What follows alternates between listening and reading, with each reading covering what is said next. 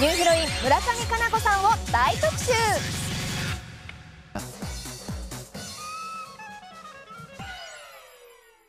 さあ続いてはフィギュアスケートの話題です。今月行われた名古屋フィギュアスケートフェスティバル。なぜ愛知県からトップスケーターが次々生まれていくのか。ここに秘密がありました。世界選手権四大陸選手権。アジア大会。世界ジュニア選手権。これから行われる国際大会に日本代表として挑む選手たちの実に50%が愛知県出身。そんな愛知のトップスケーターたちがずっとずっと大切にしているアイスショー。この場所で伊藤みどりから続くフィギュア王国の伝統が受け継がれていた。今月6日に開催された名古屋フィギュアスケートフェスティバル。この選手もこの選手もこの選手もこの選手も。ここで演じることの喜びを知りここから世界へと羽ばたいていった。第1回からあの出場させていただいてすごい温かいショーで本当にあの始まりはまあ、なんていうのちっちゃなショーでローカルなショーで始まって今は本当に全国から皆さん足を運んでくださるショーになっているので楽しく気持ちよく滑らせていただけたのであの良かったと思います。今や日本中至る所でアイスショーは行われている。華麗なフィギュアスケートをたくさんの人が目の前で楽しめるようになった。そんなアイスショーをいち早く開催したのがフィギュア王国名古屋。まだ幼いスター候補生たちが緊張しながらも精一杯の演技を見せてくれていた。今回はエキシビということで、まあ、自分自身楽しく滑れたと思います。すごい楽しくて自分の満足いく演技ができたこともすごい心の中がすごいすっきりしました地元の大声援を受けて演技をする緊張感と喜び。それら全てを力に変えて彼女たちは世界の頂点へと駆け上がっていった。そして1年に一度またここに戻り心身ともにトップスケーターへと成長した姿を見せてくれている。アイスショーに対してのやっぱり責任感の持ち方あのショーだから失敗していいとかではなくてショーだからこそこうお客さんに違った、うん、楽しみ試合とは違った楽しみがある。本当にもう一人でもいいっていうぐらいででもその一人の人が自分を思って自分のスケートを好きでいてくれる限り多分自分は競技のスケーターとしてリンクの上に立つと思うので。満員の観客を前に名古屋育ちのダイヤの原石がリンクを駆け巡る。こんなに小さかった男の子も。今年3月世界ジュニア選手権に日本代表として出場。日の丸を背負って戦うまでに成長した。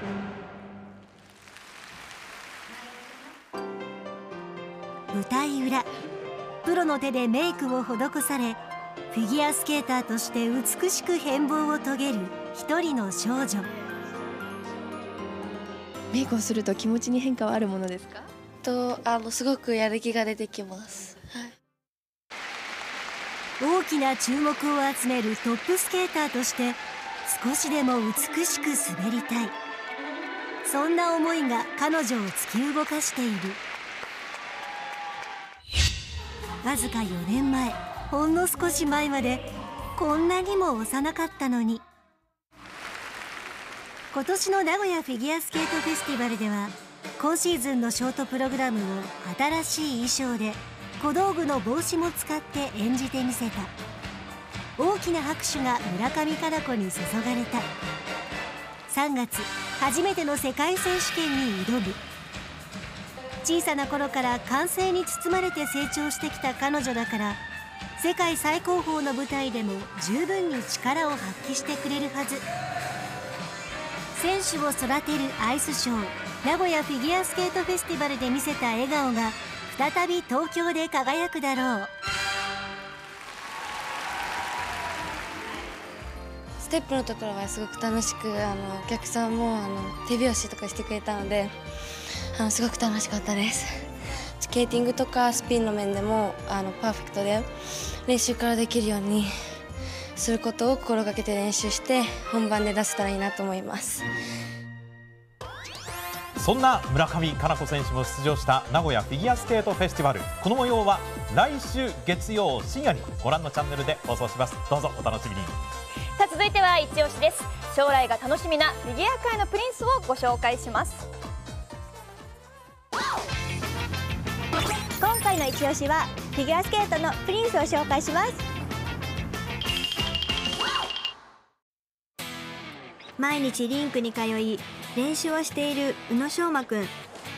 浅田真央さんや村上佳菜子さんを育てた山田真子コーチの門下生です。今最も期待をしている選手の一人なんです。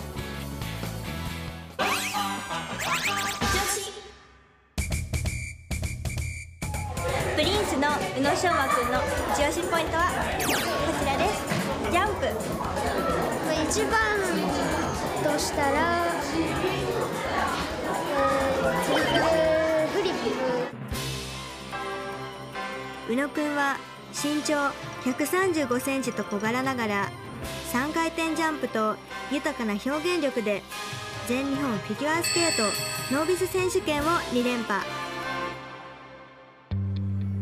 ノービスチャンピオンとして臨んだ全日本フィギュアスケートジュニア選手権。ショートプログラムでは3位と好調でしたがフリーでジャンプを失敗して4位。惜しくも表彰台を逃しました。ジャンプもだんだん飛べるようになってきたんですけどフリーが全日本ノービスと全日本ジュニア両方ともあんまり良くなかったんであんまり納得できません。悔しい結果に終わった全日本ジュニアの翌日練習に明け暮れる宇野くんの姿がありました。大会で失敗したジャンプを繰り返し練習します。そんな宇野くんを指導する山田真知子コーチは来シーズンぐらいには3回転3回転だったり男の子の、えっと、今ジュニア世界に出てくにはトリプルアクセルをこなしたり、まあ、表現力はね彼は得意なので多分そのとそこはあまり心配してませんけれどもジャンプをもう少しダイナミックに難しい技ができるようになっていったらきっと、まあ、世界に通じるまた選手になるんじゃないでしょうか。今シーズンでノービスを卒業し来シーズンからはジュニアでの戦いです。そんな宇野くんが